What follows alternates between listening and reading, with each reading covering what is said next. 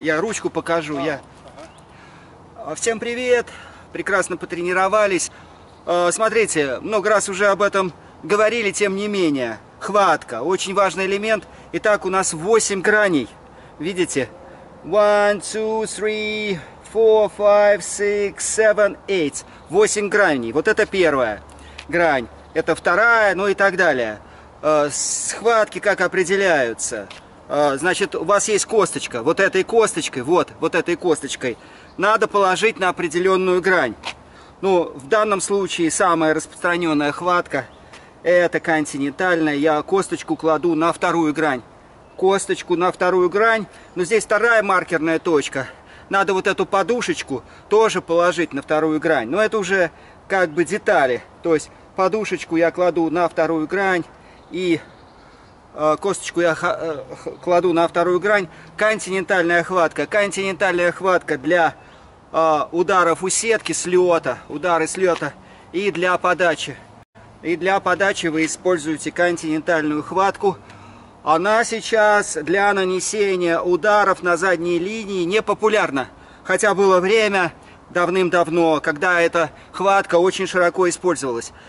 Потом э, перешли к другим хваткам из-за того, что стали в ударах принима- применять так называемую расслабленную кисть. Если раньше кисть и ракетку надо держать было плотно очень, все фиксировалось.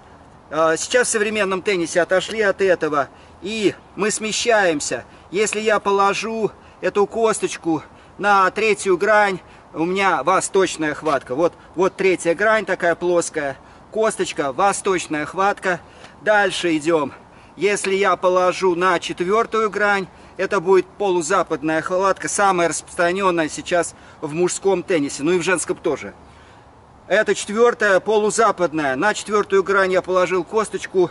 Это хватка, которая, э, ну, условно говоря, называется сковорода, потому что я держу как сковородку, на которой готов печь блинчики. И эта хватка позволяет нам с нежесткой кистью наносить очень большие кручения под мяч. Мячи стали сейчас накручиваться очень и очень сильно.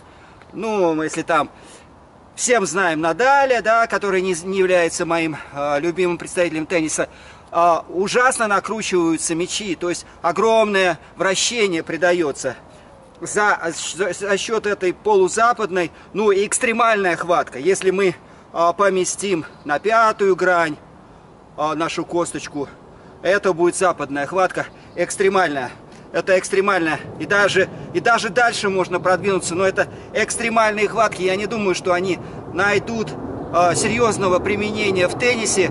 Хотя, ну, допустим, многие играют а, этой хваткой вот, вот, вот в таком положении, да, то есть вот в таком положении идет кручение очень сильное. А, но это современные, продвинутые, так называемые Next Generation, следующее поколение, играют такими хватками. А, Но я думаю все-таки, что, что экстремальное не, не совсем найдет реальное приложение в жизни. Поэтому а, полу, полузападная хватка на, а, значит, это у нас вторая, третья, на четвертой грани самая распространенная. Это хватка для нанесения ударов с отскоком. Спасибо, что слушали, спа- спасибо, что смотрели. Мы говорили сегодня про хватки э, в мужском и женском теннисе. Удачи всем, всего доброго.